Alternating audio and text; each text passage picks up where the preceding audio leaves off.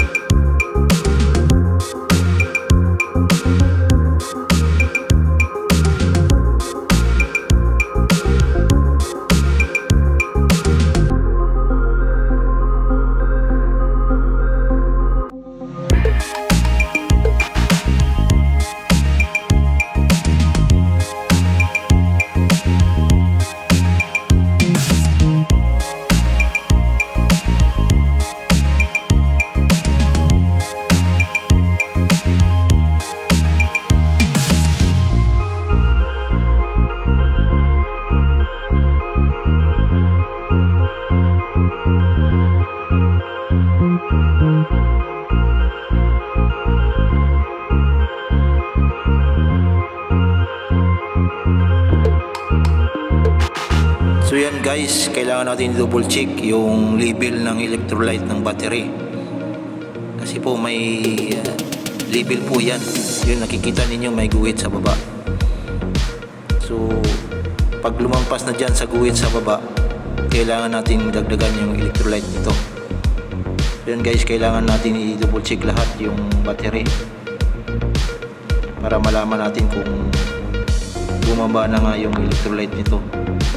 So, yan guys, makikita ninyo yung guhit sa baba. Kailangan pag lumampas dyan sa baba. Pag lumampas na, kailangan na dagdagan yung electrolyte dito.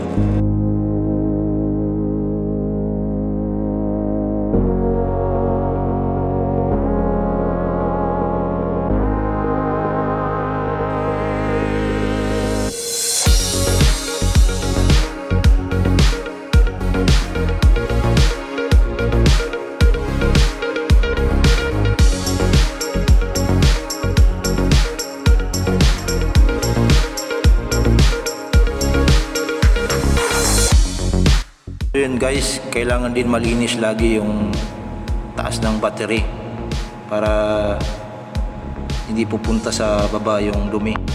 So kaya namin nililinis lagi yan. Mini maintenance uh, every 2 weeks. Mini maintenance namin yung battery para maiwasan yung dumi na pupunta sa loob ng battery.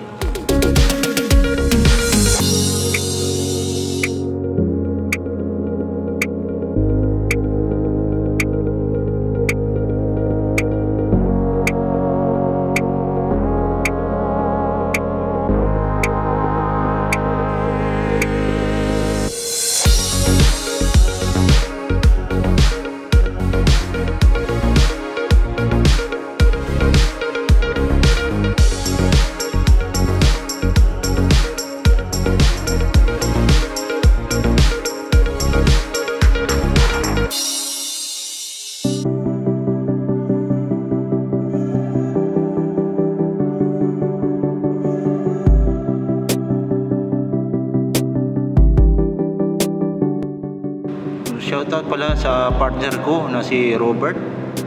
At shoutout din sa kanyang asawa na si Ma'am Maricel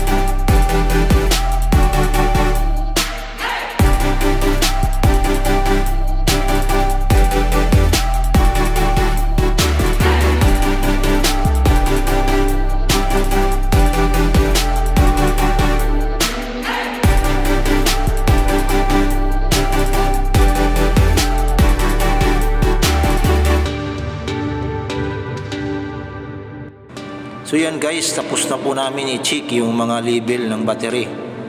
So marami kaming nakita na kailangan dagdagan ng electrolyte yung battery. So guys, mag-start na po kami maglagay ng electrolyte ng battery. So tara guys, let's go!